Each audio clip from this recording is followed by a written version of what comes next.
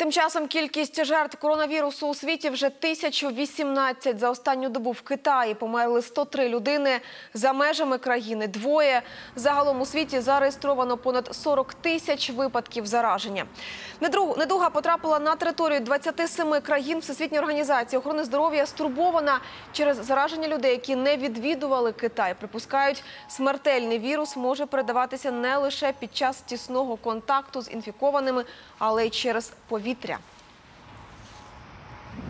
Останніми днями ми спостерігаємо випадки передачі захворювання від людей, які не їздили до Китаю, зокрема у Франції та Британії. Це викликає занепокоєння. Ця невелика кількість випадків може стати іскрою, що запалить велику пожежу. Та поки це лише іскра. Нашим пріоритетом і надалі залишається стримування.